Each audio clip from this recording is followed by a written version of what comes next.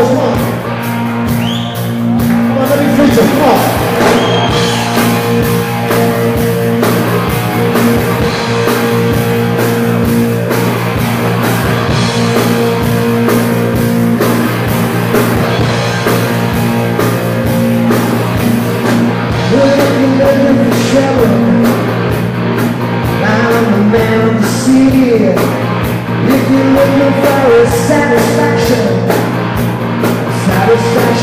Satisfaction guaranteed.